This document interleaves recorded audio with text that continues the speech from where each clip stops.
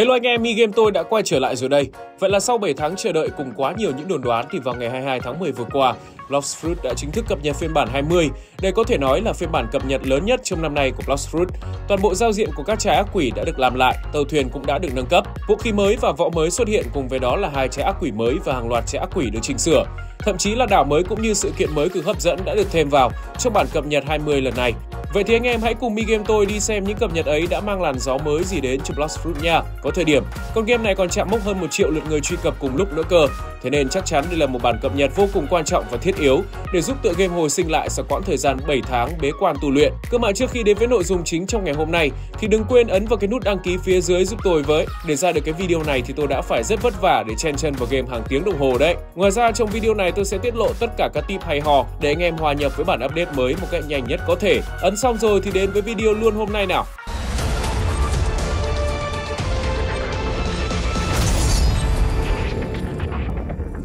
Chắc chắn rồi, thứ được anh em game thủ đồn đoán và mong chờ nhất trong quãng thời gian vừa qua chính là những trái ác quỷ mới sẽ xuất hiện trong bản cập nhật 20. Và thời điểm hiện tại thì chúng ta đã biết được hai trái ác quỷ mới đã cập bến Lost Fruit, khiến cho tổng số lượng trái ác quỷ trong game được tăng lên con số 37 trái. Trái đầu tiên là trái âm thanh. Trái ác quỷ này thuộc hệ Natural phẩm chất Legendary. Có lẽ trái ác quỷ này dựa trên sức mạnh điều khiển âm thanh của Uta trong One Piece. Nội tại của trái ác quỷ này có tên là Tempometer. Để đầy ống nội tại thì anh em phải dùng chiêu của trái âm thanh trúng mục tiêu hoặc giữ chiêu F của nó. Khi thanh nội tại được làm đầy, bản thân người sử dụng và những đồng đội ở gần sẽ nhận được một lớp hào quang có hình ảnh là một bản nhạc. Hào quang này thực chất là một lớp khiên giúp cho người sở hữu giảm 20% sát thương nhận vào. Ngoài ra, nó còn buff nhẹ tốc độ và giáp cho người sở hữu nữa chiều Z của trái âm thanh có tên là rhapsodinos Người dùng sẽ trưởng ra ba nốt nhạc gây sát thương cho mục tiêu trúng đòn và có hiệu ứng nổ sát thương diện rộng trong phạm vi nhỏ. chiều X có tên là Fortissimo. Người dùng phát ra một bản nhạc gây sát thương diện rộng theo dạng hình nón, đồng thời có kèm hiệu ứng để lùi nhẹ. Chiều C mang tên Symphonic Radiance, người sử dụng sẽ gọi ra một quả cầu mang phong cách sàn nhạc disco. Quả cầu này sẽ phóng ra những tia sáng gây sát thương đủ mọi hướng cho mục tiêu bị trúng đòn. Ngoài ra, sau một quãng thời gian ngắn, quả cầu sẽ tự phát nổ và khiến những mục tiêu gần đó chịu sát thương.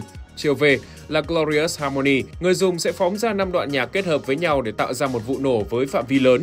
Chiều thức này có thể giữ. Cuối cùng là chiều F Tempo prestissimo cũng giống như nhiều trái ác quỷ khác, chiều này cho phép người dùng bay lượn trong khi chiến đấu. Ngoài ra, chiều này cũng giúp cho người dùng hồi lại thanh Tempometer. Nhìn chung thì trái âm thanh ở thời điểm này phù hợp hơn cho việc farm quái vì các chiêu thức của nó khá ít khả năng đẩy lùi, cũng như toàn bộ các chiêu đều có thể gây sát thương diện rộng. Khiên do Tempometer đem lại cũng khá hữu ích để đi raid hoặc săn boss, nhưng nếu để săn vua biển thì có lẽ cần kết hợp với tộc người cá để tránh việc chết đuối. PvP thì tôi khuyên là anh em chưa nên dùng chế này vội, do là nó không có những kỹ năng để áp sát hay không chế mục tiêu nên rất khó để có thể đọ sức với những chế ác quỷ mạnh mẽ khác như là Mochi hay Dragon. Chế ác quỷ thứ hai cũng là trái nhận được nhiều sự chú ý nhất trong bản cập nhật lần này là trái Mammoth, trái ác quỷ phẩm chất Mythical thuộc hệ Beast. Tóm tắt nhanh về trái này thì nó mạnh giống như trái báo đốm thời điểm mới ra mắt vậy đấy. Điều đầu tiên khiến cho trái Mammoth trở thành trái báo đốm thứ hai là việc trái ác quỷ này có thể spam chuột để tấn công ở trạng thái biến hình. Và tất nhiên cái sát thương ấy là sát thương lan. Ở dạng người, chiêu Z có tên là Ancient Carter, Người dùng sẽ tạm thời biến thân thành voi mammoth phóng ra ba nhát chém lao về phía trước, giống với chiêu X của trái Dragon ở trạng thái biến hình vậy đấy. Ở dạng voi mammoth thì chiêu Z cũng gần giống như dạng người, nhưng ngay sau đó sẽ phóng ra thêm 5 nhát chém khác. Chiêu X có tên là True Prehistoric Punch. Ở dạng người, chiêu thức này cho phép người sử dụng biến thành voi mammoth và lao về phía trước với tốc độ cao. Húc chúng thì mục tiêu sẽ bị hất văng lên trời. Ở dạng mammoth thì hiệu ứng chiêu thức cũng tương tự nhưng sát thương lớn hơn chiều C có tên là Colossal Crusher, cũng tương tự như chiều X nhưng thay vì hất tung kẻ địch thì nó sẽ khiến cho kẻ địch bị văng lên trời và đập xuống đất. Chiều về là chiều biến hình không có gì để nói, nó giống như những trái hệ bis khác. Chiều F có tên là Stampede, nó giống với chiều C của trái Buddha, người dùng sẽ nhảy về phía trước và gây sát thương. Giữ nút F càng lâu thì khoảng cách nhảy sẽ càng xa. Theo tôi thấy thì trái Mammoth giống như là trái báo đốm nhưng ở dạng uli và chậm chạp hơn. Chiều thức nó khá đơn giản để sử dụng nên phù hợp với hầu hết mọi game thủ. Có thể sẽ là một thế lực được spam trong tương lai. Được cái nữa là tạo hình của con Mammoth trông cũng khá bắt mắt, giá thành cũng rẻ hơn trái báo đốm nữa nên trong thời gian sắp tới, cứ tập xác định luôn là đi đâu cũng sẽ gặp Mammoth nhà anh em.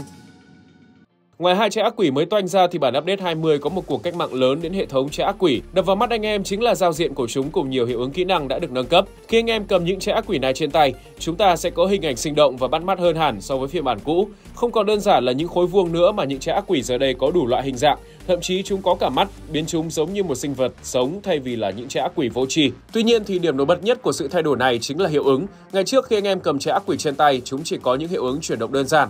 Giờ đây chúng đã có thể phóng ra những tia năng lượng, phát sáng hoặc chuyển động để tạo hiệu ứng đặc trưng cho năng lực của từng trái. Chính thay đổi này sẽ giúp cho game sinh động hơn và có một lối đi riêng biệt thay vì dựa vào tạo hình của các trái ác quỷ trong One Piece. Kế đến là sự thay đổi về mặt sức mạnh của trái ác quỷ cũ. Nếu vào cửa hàng, anh em sẽ phát hiện ngay lập tức là trái Kylo đã biến mất. Thay vào đó là một trái ác quỷ mang tên Rocket. Tôi sẽ không đánh giá sức mạnh của trái Rocket trong video này mà sẽ ở đầu video xếp hạng trái ác quỷ sau cập nhật 20. Thế nên chúng ta sẽ chỉ bàn đến hiệu ứng mà trái Rocket có thôi nha. Nhìn vào bộ chiêu thức thì tôi thấy rằng trái Rocket chắc chắn là trái xịn hơn trái Kylo rồi. Kỹ năng bay lượn cùng với hiệu ứng vô cùng bắt mắt. Hình ảnh này khiến tôi ngay lập tức liên tưởng đến nhân vật Bakugo trong bộ truyện Hero Academia. Rất có thể đây sẽ là hướng đi mới cho Bloodfruit trong tương lai. Thay vì dựa vào bộ truyện One Piece thì tựa game này hoàn toàn có thể lấy cảm hứng từ những bộ truyện nổi tiếng khác để thế giới trong game phong phú hơn, đặc biệt là thu hút thêm nhiều người chơi đến từ những bộ truyện khác nữa. Một trái ác quỷ cưỡng cũng được thay đổi đó là trái Paw, giờ đây tên của nó là Pain. Cơ mà ngoài đổi tên ra thì tôi thấy kỹ năng của trái này cũng không có gì khác biệt so với lúc trước. Nên anh em cẩn thận bị lừa đảo khi trade chúng trái ác quỷ này nha. Trái ác quỷ này trong One Piece thuộc quyền sở hữu của cựu thất vũ hải Kuma trong Atril Bark. Zoro đã đứng ra nhận mọi nỗi đau thay cho Luffy từ Kuma, nên có lẽ đây là lý do mà tên của trái Paw được đổi thành Pain.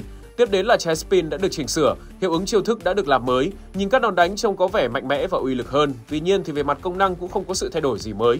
Nhìn chung thì những thay đổi này ở hệ thống trái ác quỷ dù chưa lớn nhưng cũng sẽ đem đến một trải nghiệm mới lạ cho game thủ. Chắc chắn cho những bản cập nhật sắp tới thì sẽ còn nhiều trái ác quỷ khác được làm lại hoặc có trạng thái thức tỉnh.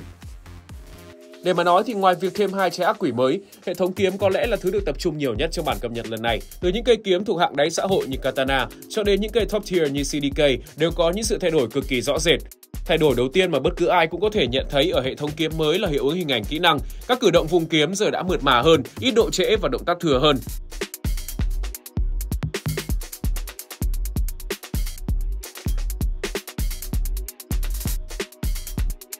Hiệu ứng kỹ năng của từng thanh kiếm thì đỉnh khỏi phải bàn, các đòn chém khí hay lốc xoáy nhìn uy lực và đẹp mắt hơn hẳn.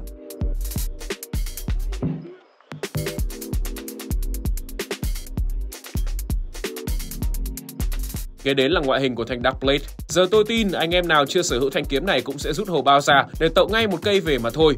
Dù không có sự thay đổi về mặt sức mạnh nhưng việc thay đổi tạo hình, hiệu ứng chiêu thức cũng như động tác ra đòn đã giúp cho cây kiếm này vô cùng xứng đáng với số tiền mà anh em phải bỏ ra để sở hữu nó. Vì là thứ được ưu ái nhất trong bản cập nhật lần này nên chắc chắn không thể thiếu kiếm mới rồi và thành viên mới trong gia đình kiếm Lost Fruit là Shark Anchor. Cái mỏ neo cá mập này dù là tân binh nhưng cũng sở hữu một sức mạnh khá ấn tượng dù chỉ là thanh kiếm phẩm chất Legendary. Chiều Z của Shark Anchor có tên là Typhoon Toss. Người dùng sẽ vung kiếm theo dạng hình tròn. Khi kết thúc sẽ đập kiếm một phát cực mạnh gây sát thương diện rộng và thổi bay mọi mục tiêu đứng trong tầm ảnh hưởng. Chiều X có tên là Armor Breaker. Người dùng sẽ lướt về phía trước kéo theo mục tiêu bị trúng đòn, sau đó đập kiếm một phát cực mạnh gây sát thương và hiệu ứng khống chế trong mục tiêu. Vừa có kỹ năng tiếp cận lại vừa có kỹ năng gây sát thương AoE. Đây là một thanh kiếm tốt dùng cho mọi trường hợp. Anh em có thể kết hợp combo đơn giản là X để tiếp cận mục tiêu, sau đó dùng Z để gây sát thương. Lưu ý là kỹ năng Z có thể giữ để thời gian gây sát thương lâu hơn nhé. Vừa dễ sử dụng, lại còn mạnh thì chắc chắn đây là một vũ khí F2P cực kỳ đáng giá đây anh em. Cơ mà để sở hữu được thanh kiếm này thì cũng khá khó nhằn, anh em sẽ phải farm nguyên liệu khá lâu. Đầu tiên hãy đến với hòn đảo mới mang tên Tiki Outpost. Hòn đảo này nằm đối diện với pháo đài, vị trí này ngày trước rất nhiều người dùng để treo đảo bí ẩn. Sau đó hãy tìm NPC có tên là Shark Hunter, giáp từng vật phẩm mà NPC này có theo đúng thứ tự từ trên xuống dưới. Để tìm được nguyên liệu mà NPC này cần, anh em hãy lái thuyền ra vùng biển Rapsi, nằm ngay phía sau Tiki Outpost. Đây là một vùng biển mới được cập nhật ở bản 20. Vùng biển này có rất nhiều những dạng đá nhỏ. Tại đây thì la bàn của anh em sẽ xuất hiện một biểu tượng mới, đó là mức độ nguy hiểm của vùng biển. Anh em hãy lái thuyền trong Rapsi đến khi nào chỉ số này đạt đến mức 4 hoặc mức 5 thì hãy dừng lại, chờ quái ra và farm, ra con nào đánh con đó kể cả thuyền ma. Ở Rapsi cũng sẽ xuất hiện con boss mới tên là Terror Shark. Con boss này khá trâu nên tốt nhất hãy lập một tổ đội để săn nó anh em nhé. Mà khi anh em đã giáp đến nguyên liệu thứ ba là cái Monster Magnet, thì hãy quay trở lại Rapsi để săn thêm Terror Shark. Lưu ý là phải săn con boss nào có máu 195k nha. Lúc bấy giờ anh em sẽ có tỷ lệ rớt ra cây kiếm mới. Chúc anh em may mắn một cơ chế mới xuất hiện để bổ sung cho lối chơi của kiếm đó là nâng cấp kiếm. Những nâng cấp này nó khá giống với việc anh em tẩy luyện hay đập ngọc ở những tự game khác khi nâng cấp, kiếm của anh em sẽ ngẫu nhiên nhận được các chỉ số để nâng cao khả năng cấy cuốc cũng như tấn công hoặc phòng thủ. Nói chung cơ chế này sẽ nâng cấp vũ khí của anh em lên một tầm cao mới và nó cũng là một hình thức gacha trá hình khá thú vị. Vậy là ngoài cái random trái ác quỷ ra thì giờ anh em thích chơi trò chơi nhân phẩm có thể thử sức ở bộ môn nâng cấp kiếm này. Nguyên liệu để nâng cấp kiếm là những quyển trục. Để có được những quyển trục này thì anh em cần đi săn lũ cá mập ở Rapsi để kiếm nguyên liệu. Giáp nguyên liệu này tại NPC tên Dragon Talon Sage. Còn nếu quá lười để cày nguyên liệu thì anh em hoàn toàn có thể nạp trực tiếp Robux để mua cho nhanh. Theo tôi thấy thì cơ chế này nó hơi mang thiên hướng pay to win một chút xíu nhưng anh em chơi chay vẫn có thể cày được nguyên liệu nên cũng không vấn đề gì. Thứ tiếp theo được nhiều người quan tâm trong bản cập nhật lần này là võ mới mang tên Sanguine Art, một võ cổ xưa chứa đựng sức mạnh của sinh vật cổ Leviathan. Chiếc Z có tên là Bloodband Rain, người dùng sẽ tiến về phía trước. Khi đánh trúng mục tiêu sẽ triệu hồi ra một lũ rơi tấn công mục tiêu. Chiều này có khả năng cơ động tốt, dùng để tiếp cận mục tiêu vô cùng hiệu quả. Chiều X có tên là Scarlet Tear, người dùng sẽ tạo ra 5 nhát chém về theo hướng chỉ định, gây sát thương và đẩy lùi mục tiêu. Chiều C có tên là Devourer of Worlds, người dùng sẽ phóng ra một quả cầu lớn nếu đánh trúng mục tiêu thì sẽ có 4 quả cầu năng lượng tấn công và gây sát thương cho mục tiêu. Còn nếu đánh hụt thì quả cầu này sẽ tự động tấn công vào mục tiêu gần nhất. Về cơ bản thì đây là môn võ khá thú vị và đáng để anh em sử dụng. Đòn đánh thường của Sangyo Art có độ trễ rất thấp, đem đến cho anh em một trải nghiệm rất tuyệt vời khi tung đòn. Nhờ vào sự mượt mà này mà đòn đánh thường của Sangyo Art rất tốt để nối combo. Và tất nhiên để lấy được môn võ này anh em cũng khá chề chật. Đầu tiên hãy sở hữu vật phẩm Monster Magnet giống như cách lấy cây kiếm Shark Anchor như tôi đã nói ở trên. Sau đó đừng vội ra biển tìm nó, hãy lên trên hòn đảo Tikiopos tìm NPC có tên Spy. Nói chuyện với ông ta đến khi nào ông ta khẳng định con thủy quái Leviathan đã xuất hiện ở đây là xong. Mỗi lần nói chuyện sẽ tốn khoảng 1.500 fragment. Hãy chuẩn bị sẵn 6.000-7.000 fragment cho chắc anh em ạ. Nói chuyện với ông ta xong thì ra ngoài Rough Sea, tìm đến vùng biển có độ nguy hiểm 6 ngồi đợi Leviathan xuất hiện và bem nó thôi. À mà nên có đủ 5 người đi săn thì Leviathan mới xuất hiện nha. Khi đánh xong Leviathan, anh em sẽ nhặt được một vật phẩm trái tim Leviathan, đem nó về gặp NPC Shafi. Ở đảo Tikiapos là anh em sẽ học được Senjuan Art. Một mẹo nhỏ cho anh em khi mở khóa Sentient Art là khi làm nhiệm vụ lấy Shark Anchor, hãy cứ săn càng nhiều quái vật ở Rapsi càng tốt, vì đó là nguồn fragment lớn. Nếu Seabeast có xuất hiện thì hãy bỏ qua nó cũng được, tập trung săn cá mập thôi, trừ khi anh em quá bá đạo hạ gục Seabeast nhanh thì đánh hết. Như vậy sẽ rút ngắn thời gian cày võ mới và vũ khí mới cho anh em. Ngoài những thay đổi lớn ở trên ra thì bản update 20 còn chứa những thay đổi nhỏ rất đáng để anh em quan tâm. Hệ thống thuyền bè của game đã được cập nhật và thay đổi. Giờ đây những chiếc thuyền đóng một vai trò vô cùng quan trọng khi anh em phải đối mặt với những con quái vật biển mạnh mẽ hơn so với phiên bản cũ. Hệ thống thuyền bè đã được admin nâng cấp để anh em có trải nghiệm tốt hơn khi đi săn quái vật biển. Ngoài việc thay đổi ngoại hình ra thì giờ đây có những chiếc thuyền có thể bay lên trời nữa. Anh em sẽ không cần phải lạm dụng những glitch bug để khiến cho thuyền bay như bản cũ nữa rồi. Tiếp đến là hiệu ứng thời tiết, giờ đây những hạt mưa có phần nào đó chân thật hơn so với bản cũ. Thời tiết sấm chớp cũng được thêm vào game và nó có thể gây sát thương cho thuyền bè nếu bị xét đánh trúng. Giới hạn cấp độ của người chơi được mở tăng thêm 100 cấp, giờ đây cấp độ tối đa mà người chơi đạt được là 2550. Giao diện của game cũng có một chút thay đổi. Mỗi khi anh em ra biển thì bên cạnh thành cấp độ sẽ xuất hiện ký tự của một chiếc bánh lái tàu. Con số này nhằm ám chỉ việc trên thuyền của anh em đang có bao nhiêu thành viên. Con số này cũng khá quan trọng vì khi đạt được 5 người trở lên thì anh em mới có cơ hội triệu hồi ra Leviathan. Ok và đó là toàn bộ những sự thay đổi mà tôi khám phá được ở thời điểm hiện tại. Tôi biết là vẫn còn những sự thay đổi khác nữa nhưng tôi cần thêm một chút thời gian để tìm hiểu. Phải công nhận rằng bản cập nhật lần này của Bloxfruit tuy không quá nhiều thay đổi về sức mạnh nhưng cũng đem đến những điều thú vị. Đặc biệt là admin cũng đã nâng cao trải nghiệm chơi game của game thủ.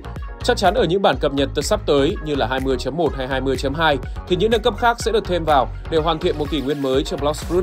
Trong tương lai, tựa game này sẽ còn rất nhiều hướng tiếp cận mới chứ không chỉ dành riêng cho fan của One Piece nên hãy cùng tôi chờ đợi xem nhé. Giờ chuyên mục trả lời bình luận để được lên TV đã quay trở lại rồi đây. Bạn Mai Hiền Nguyễn nói hóng mãi anh ơi, game cuốn như mi game cuốn hơn. Bạn này nói đúng còn nói to nữa, xứng đáng lên TV. Bạn Lê Bảo nói, tôi phát hiện ông này đăng đi đăng lại một video, thực ra là tôi đăng lại nhiều lắm chứ, vắt sữa và nhai lại là sở thích của tôi mà anh em. Hôm nay tới đây thôi anh em nhá, đừng quên khung giờ 18 giờ các ngày thứ hai từ sáu hàng tuần trên Mi Game để không bỏ lỡ những nội dung hấp dẫn khác anh em nha. Cảm ơn anh em đã theo dõi, xin chào và hẹn gặp lại ở những video tiếp theo.